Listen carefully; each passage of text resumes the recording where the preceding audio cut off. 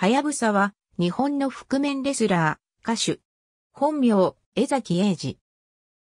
最終所属、FMW。熊本商科大学在学中に、プロレス同好会に入り、学生プロレスを始める。大学は2年中退だが学生プロレスは4年間続けていた。1991年、同好会の同期である、本田正史と共に、大仁田敦氏が代表を務める FMW の入団テストを受けて合格。FMW の4条1軒の寮にガンノスケと同部屋で暮らし、昼間はアルバイト、夜に練習をする生活を送っていた。当時より若手の中では素質がずば抜けていたと師匠の大仁田は語っている。1991年5月5日、アミーゴウルトラと組んで、パンディータ上野幸秀戦でデビュー。1993年10月、海外遠征に出発して、メキシコのワミを中心に活動していたが、1994年4月に一時、帰国して第1回スーパー J カップに出場。重心サンダー・ライガーとの試合でインパクトを残してトップレスラーへの足がかりをつかんだ。1995年5月5日、FMW 川崎球場大会において、大仁田の引退試合の相手を務め、電流爆破マッチに初挑戦。その後は、新生 FMW のエースとして団体を引っ張る立場となった。6月、大谷剛公とのタイトルマッチに勝利して、大仁田由来のチャンピオンベルトの世界、ブラスナックル王座を奪取するも、すぐに返上。FMW のトップ選手を集めたリーグ戦、グランドスラムでは、決勝戦に進出するも、ザ・グラジエーターに敗れ、準優勝となった。1996年には、肘がパンクしてしまい、手術のため長期離脱となるが、団体のため短期間で強行復帰せざるを得なかった。5月の川崎球場には田中正人と組んでメインイベントに登場したが、テリー・ファンクミスター・ポーゴ組に敗れる。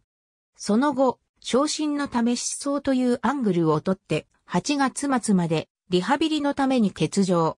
10月、道のくプロレスの両国大会に参戦して荒崎、人生に敗れた。12月の駒沢大会では、道のくプロレスのザグレート、サスケと対戦し勝利した。しかし、この大会で、大仁田が現役復帰したが、FMW はエンターテイメント重視の路線を取る荒井昭一社長とデスマッチ路線を施行する大仁田の方向性で割れることとなった。大仁田が全日本プロレス社長のジャイアント馬場に掛け合い、馬場がそれを認める形で全日本プロレスへの参戦が決まった。なお、川田俊明の反対もあったが、馬場は、かつての愛弟子である大仁田の頼みを邪険に扱うことなく、はやぶさの全日本参戦を承諾した。そしてはやぶさは、馬場同席で全日本参戦発表の記者会見まで、馬場のお膝元である、キャピトル東急ホテルで開かれた。97チャンピオンカーニバルより全日本にスポット参戦。ババには試合内容を高く評価され気に入られたという。全日本で人生とタッグを結成して小橋志賀健太郎組に勝利。FMW の川崎球場大会では小橋マウナケアモスマン組と戦い、自らが小橋のラリアットに敗れた。年末には人生と共に全日本プロレスの世界最強タッグ決定リーグ戦に参戦。強い格付け意識を押し出した当時のメジャー団体の中で戦績は2勝7敗と振るわなかったが多くの好勝負を展開。この年は FMW と全日本プロレスを股にかけた活躍が評価され年末のプロレス大賞で関東賞を受賞。1998年4月、ガンノスケから FMW2 冠統一王座を奪取して10月には、格闘探偵団バトラーズの池田大輔とのタッグで、冬木行動金村幸宏組から世界ブラスナックルタッグ王座を奪取。しかし、11月に冬木に敗れ、FMW2 冠統一王座を失った。海外では、人生と共に ECW に参戦。ロブ・バンダムサブー組が保持していた ECW 世界タッグ王座に挑戦。1999年2月、全日本に参戦して、人生とのタッグでアジアタッグ王座を奪取。その後、FMW で田中黒田明子を相手にアジアタッグ王座防衛戦が行われた。6月に当時、FMW コミッショナーであった冬木からマスク、剥奪勧告を受け、素顔に戻り、H と名乗り活動。これは飛び技を主体とするファイトスタイルにより、着地の衝撃を支え続けた江崎の膝が限界に達していたという事情もあったらしい。11月に横浜アリーナで行われた FMW10 周年記念興行では、二代目、はやぶさを名乗るガンノスケと戦い、フェニックススプラッシュで勝利。2000年からは再び、リングネームをはやぶさに戻した。ハリウッドで制作されたプロレス映画、バックヤードドックスに本人役で出演するために渡米。ウォー後楽園大会で天竜源一郎と対決した。11月には腕の再手術を決意、二度目の長期欠場に入った。2000年には田口智郎主演の映画マスクで41に架空のマスクマン、レッド・ファルコン役で出演するが、その直後に起きた映画制作会社であるサンセントシネマワークスの解散と新会社ランブルフィッシュ設立等のため、映画が公開されたのは2004年のことだった。2001年5月の川崎球場大会で、欠場から復帰してサスケとタッグを結成し、ガンノスケ黒田組に勝利。10月22日、後楽園ホールのタイマンモス佐々木戦で、はやぶさは、試合中のアクシデントにより、頸椎を損傷の重傷を負った。はやぶさは治療とリハビリに臨むために、長期、無期限の休業を余儀なくされた。その後、下、吉氏の除霊やリハビリにより、自力で立ち上がり、補助付きで歩けるまで回復。2002年8月、WMF 旗揚げにあたり、コミッショナーに就任するが、その後、離脱して、個人事務所、はやぶさ計画を設立して五右衛門と共に所属した。歩行が困難な状況ながら、お楽しみはこれからだ。と宣言した。2003年、平井堅の Life is の PV に出演。2004年には、二冠のみで、上映の映画、バヨン、バヨンにも出演。歌手の美濃谷正彦、五右衛門とトリプルファイトというトリオを結成し、歌手としてライブハウスやプロレス会場で活動。2006年からは舞台俳優としての活動も始め、市川博樹主演の天野真一物語、飛行機雲などに出演した。2009年1月24日には自身のプロデュース工業である、はやぶさプロデュースフェニックスを開催した。2014年にはプロレスラーとしての復帰は諦めておらず、杖を使って約200メートル歩けるまでに回復していった。5年後、レスラーとして再びリングに立ちますと宣言した。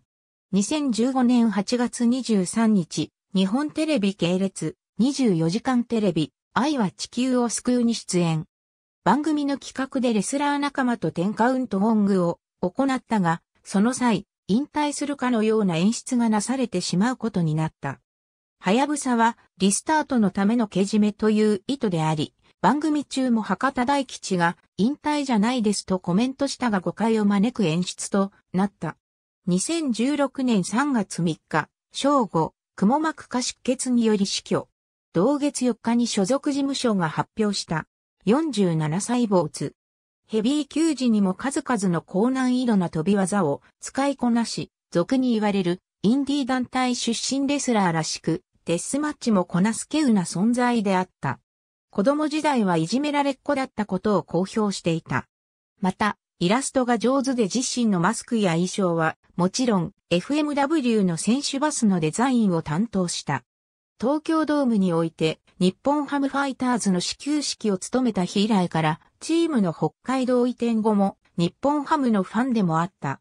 学生プロレス時代に、ガンノスケと共に、クイズダービーに出演している。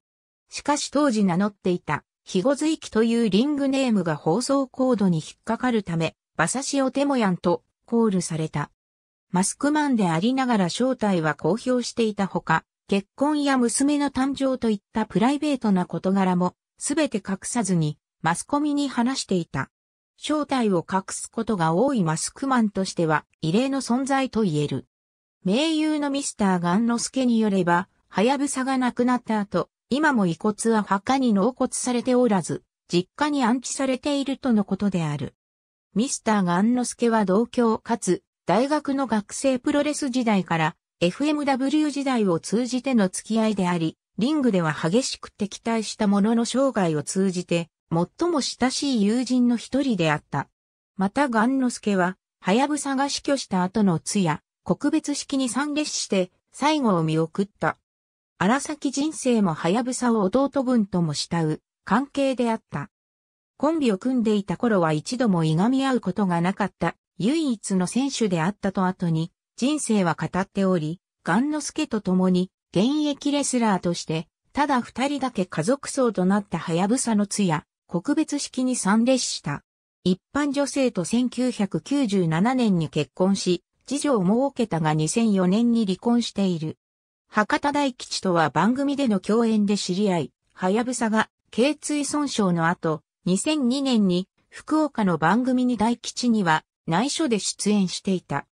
車椅子に乗って出てきた時点で大吉は本番中にもかかわらず号泣してしまい、それを見たはやぶさは、ねえ、王ちゃん、挨拶ぐらいしようよと、笑いながら明るく話しかけたほどの間柄であった。また、2015年の24時間テレビ、愛は地球を救うの10カウントゴング企画においても、はやぶさと共に出演した。1997年には、石井達也のデザインによるコスチュームで試合を行った。はやぶさは、米米クラブデビュー当時からの石井のファンで、コスチュームデザインをきっかけに、交友も生まれた。また、2015年の24時間テレビ、愛は地球を救うの10カウントゴング企画でも、石井と共演している。ありがとうございます。